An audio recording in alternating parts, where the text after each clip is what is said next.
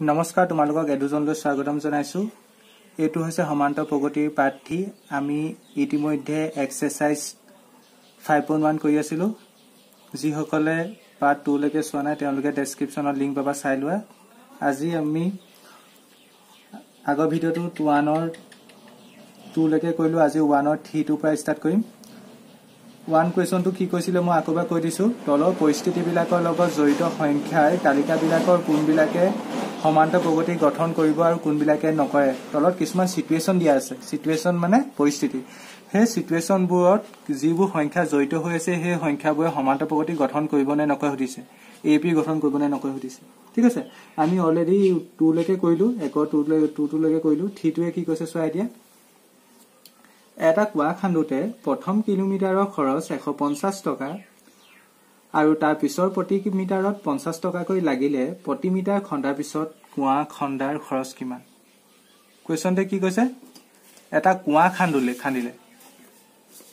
ইংলিছত ক'লে কি হ'ব? The cost of a digging a well after every metre of digging when it is cost rupees 150 for the first meter and rises by 50 rupees 50 for each subsequent meter মানে কি ক'লে? এটা কুঁৱা খান্দিছে। কুঁৱাটো খান্দোতে প্ৰথম যদি ধৰি লোৱা তুমি এশ পঞ্চাছ কিলোমিটাৰলৈকে খান্দা। হয়নে? চ' ন চৰি প্ৰথম মিটাৰ যদি খান্দা প্ৰথম মিটাৰ কুঁৱাটো ধৰি লোৱা প্ৰথম মিটাৰ খান্দিলা প্ৰথম মিটাৰ খান্দোতে তোমাক খৰচ কিমান পৰে? এশ পঞ্চাছ টকা পৰে। কেইটকা খৰচ পৰে? এশ পঞ্চাছ টকা। তুমি কুঁৱাটো কিমান তললৈকে খান্দিলা? এয়া মাটি ধৰি লোৱা এক মিটাৰ তললৈকে খান্দিলা। তুমি কিমান দিব লাগিব? এশ পঞ্চাছ টকা। ধৰি লোৱা তোমাৰ কুঁৱাটো সৰু হৈছে বা কুঁৱাটো দৰটো কম হৈছে তুমি আৰু খান্দিবা। ধৰি লোৱা তুমি আকৌ নেক্সট এক কিলোমিটাৰ খান্দিলা। এক মিটাৰ চৰি মিটাৰ খান্দিলা। এইবাৰ নেক্সট এক মিটাৰ তুমি কেইটকা দিব লাগিব কৈছে? তাৰ পিছৰ প্ৰতি মিটাৰত পঞ্চাছ টকা। এইবাৰ এইবাৰ তুমি এশ পঞ্চাছ দিব নালাগে। এইবাৰ কিমান দিব লাগিব? পঞ্চাছ টকা আৰু বেছি দিব লাগিব। ঠিক আছে? এইবাৰ নেক্সট আকৌ এক কিলোমিটাৰ এক মিটাৰ যদি খান্দা তুমি আকৌ কিমান দিব লাগিব তুমি? আকৌ তুমি দিব লাগিব আকৌ পঞ্চাছ টকা দিব লাগিব। মানে প্ৰথম মিটাৰ খান্দোতে দিব লাগিব এশ পঞ্চাছ টকা আৰু প্ৰত্যেক অতিৰিক্ত কিলোমিটাৰ কিমানকৈ দিব লাগে? পঞ্চাছ টকাকৈ দিব লাগে। মানে পঞ্চাছ টকাকৈ তুমি যিমান মিটাৰ খান্দিবা এড হৈ গৈ থাকিব। মানে কি? মানে গোটেই পদসমূহৰ মাজত বা গোটেই সংখ্যাবোৰৰ মাজত পাৰ্থক্যটো কি? সমান। সেয়েহে এইটো কি? সমান্ত প্ৰগতিত আছে। এইটোকে আমি লিখিব লাগে এতিয়া। ঠিক আছে? আমি কি লিখিম? ইয়াত প্ৰথম কিলোমিটাৰ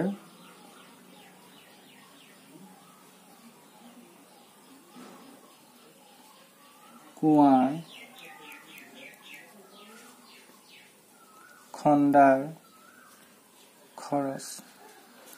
এইটো ইংলিছত লিখিলে কি হ'ব? হিয়েৰ এইটো হ'ব কষ্ট ফৰ ইংলিছ মিডিয়ামৰ ছাত্ৰ ছাত্ৰীসকলে ইংলিছত লিখিবা আৰু অসমীয়া মিডিয়ামৰ ছাত্ৰ ছাত্ৰীসকলে অসমীয়াত লিখিবা। দুয়োটা মাধ্যমত নিলিখিবা। Cost for digging one metre deep যদি তুমি এক মিটাৰ ডিপ খান্দা সেইটো কিমান হ'ব? এশ পঞ্চাছ টকা। মানে কি ইয়াৰ পৰা প্ৰগতিটো মানে এ পিটো ষ্টাৰ্ট হৈছে। ঠিক আছে আৰু আমি জানো যে যিটো পদৰ পৰা প্ৰগতিটো ষ্টাৰ্ট হয় সেইটো কি বুলি কয়? প্ৰথম পদ বুলি কয়। ধৰি লোৱা তুমি এটা এ পি লৈছা। এ পিটো ক'ৰ পৰা ষ্টাৰ্ট হৈছে? A one a two a three a four তেনেকৈ আপটো গৈ আছে। তেনেহ'লে এ ওৱানে কি বুজাব? প্ৰথম পদ এ টুৱে দ্বিতীয় পদ বুজাব। হয়নে? তেনেহ'লে প্ৰথম মিটাৰ কুঁৱা খন্দা খৰচ মানে তাৰ পৰা ষ্টাৰ্ট হৈছে। প্ৰথম মিটাৰ খান্দোতে কিমান খৰচ হ'ল? এশ পঞ্চাছ টকা। তেনেহ'লে সেইটো কি হ'ব? এ ওৱান ইজুকেলটো কি হ'ব? এশ পঞ্চাছ টকা। ঠিক তেনেকৈ একেই।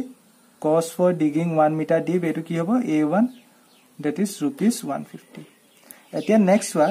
আমি এনেকুৱা এ ওৱান এইটো আগৰ ভিতৰত কৈছিলোঁ কেইটা উলিয়াই ল'ব লাগে? পৰাপক্ষত মিনিমাম তিনিটা চাৰিটামান উলিয়াই ল'ব লাগে। এতিয়া প্ৰথম কিলোমিটাৰ গ'ল। এইবাৰ কি লিখিম?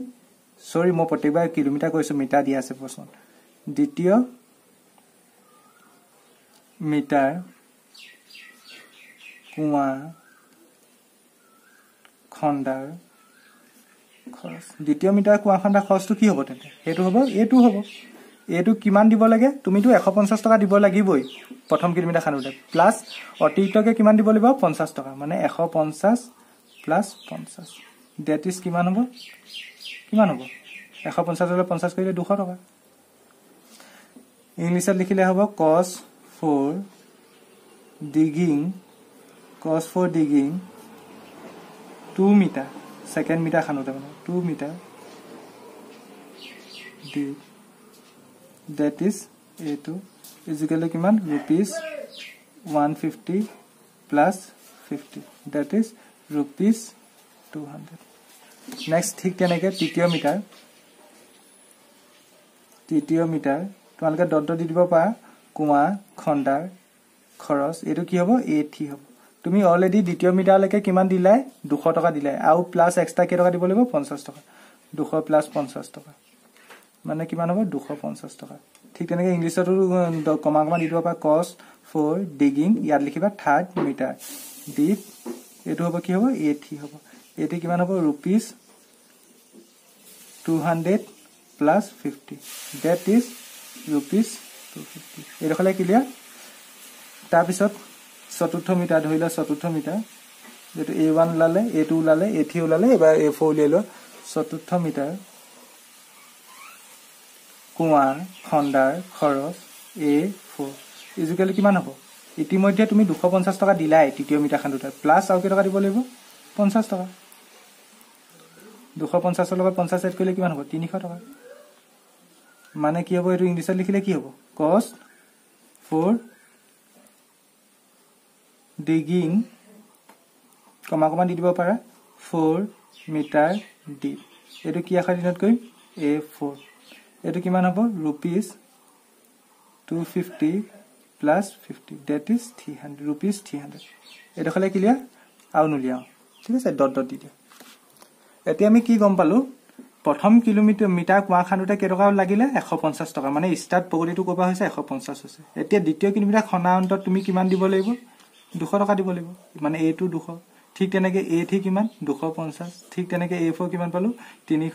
নেক্সট তিনিশ পঞ্চাছ হ'ব তেনেকৈ গৈ থাকিব। মানে এ ওৱান এইটো এইটো কিমান? এ টু এইটো কিমান? এ থ্ৰী নেক্সট কিমান? এ ফ'ৰ আমি সমান্ত প্ৰগতিত আছে নে? কেনেকৈ গম পাওঁ? আমি এটা ডিফাৰেঞ্চ উলিয়াই চাব লাগে। ডিফাৰেঞ্চটো হৈছে a two minus a one equal to a three minus এইটো এইটো যদি হয় তেনেহ'লে সমান্ত প্ৰগতিত থাকিব। মানে কি? মানে পদসমূহৰ মাজত যদি ডিফাৰেঞ্চটো মানে অন্তৰটো সমান হয় তেনেহ'লে সমান্ত প্ৰগতিত থাকিব। এতিয়া আমি চাম। কি চাম প্ৰথম? A two minus a one a two minus a one কিমান? এ টু কিমান? টু হাণ্ড্ৰেড মাইনাছ এ ওৱানৰ ভেলু কিমান? One fifty that is fifty হ'ব। ঠিক আছে ঠিক তেনেকৈ a three minus a two a three value কিমান? এ থ্ৰী ভেলু কিমান? এইটো এ ওৱান এইটো a two a three two fifty minus a two a two value two hundred that is fifty এনেকৈতো গৈ থাকিব। এতিয়া চোৱা সমান পাইছানে? A two minus a one পালা fifty a three minus a two কিমান পালা? ফিফটি পালা মানে সমান। That is a two minus a one equal to a three minus a two এতেকে সমান হ'লে কি হয়? সমান্ত প্ৰগতিত আছে। প্ৰদত্ত সংখ্যাৰ তালিকাই সমান্তৰ প্ৰগতি গঠন কৰে। ঠিক আছে? এইটোকে ইংলিছত লিখিলে কি হ'ব? Hence it is an A P কেলে এ পি হ'ল? কাৰণ a two minus a one ইজুকেলো কি পালোঁ? A three minus a two পালোঁ। আজিৰ ভিডিঅ'টোত মই ইমানতে এৰিছোঁ। ইয়াৰ পিছত মই থাকি যোৱা কুৱেশ্যনকেইটাৰ পৰা ষ্টাৰ্ট কৰিম। যদিহে তোমালোকে ভিডিঅ'টো ভাল পালা তেনেহ'লে চেনেলটো ছাবস্ক্ৰাইব কৰিবা লগতে বন্ধুবৰ্গৰ লগত শ্বেয়াৰ কৰিবা লগতে কমেণ্ট কৰিবলৈ নাপাহৰিবা কেনেকুৱা পাইছা। ধন্যবাদ।